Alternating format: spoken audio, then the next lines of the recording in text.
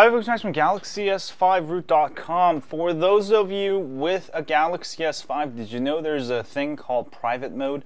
Um, it's like the Hide It Pro app, uh, which allows you to hide of hide your favorite um, music, uh, movies, um, you know, have privacy. So how do you use this? Uh, let's say uh, you want to hide some of your uh, crazy photos or something, uh, or videos. Go ahead and turn on private mode. All right and I'm to go ahead and turn it on. You can also set it, uh, the first time you do it, it'll ask you to set, um, you can set your security with the swipe, uh, with a PIN number. Um, go ahead and do that. And next you can go ahead and open the gallery, all right? And now I'll be able to see my private photos that I don't want people to see. Uh, or perhaps you have some, you know, uh, content that you don't want people to see. Uh, you can go ahead and do that. And now if I turn the private mode off, um, you'll see that uh, that all of those things are gone now. Ah, let's go back to gallery here. Um, ah, it just keeps going back to the camera for some reason. There we go, it's gone now. And let me go ahead and show it to you again.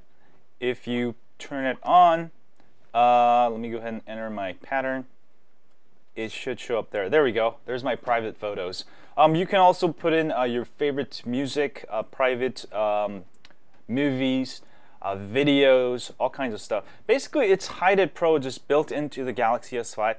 And uh, this is another feature on the Galaxy S5. Just in case you don't know how to use it, um, that's how I use it. And uh, I hope you guys enjoy so you have your own privacy. Um, that way, the next time you hand over your Galaxy S5 to the FBI officer, um, all of your illegal movies. Uh, hopefully you didn't download them. I don't really care what you do with it. I'm just using that as an example. Uh, will be hidden and they won't be able to, um, you know, uh, get you for it. Uh, or maybe, you know, um, a girl you're going out with, you have all this porn on your site, uh, on your phone, I mean, um, you can hide it and then give her your phone. Um, that way you don't get embarrassed or whatever. I mean, there's a ton of examples um, but you should have control over your phone and this is another feature. Definitely a feature you should use.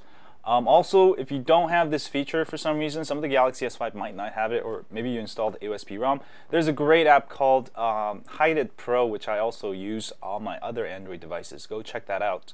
Um, that's about it, folks. Um, so enjoy your private mode, and I will see you guys soon. As always, stay hoy on Android.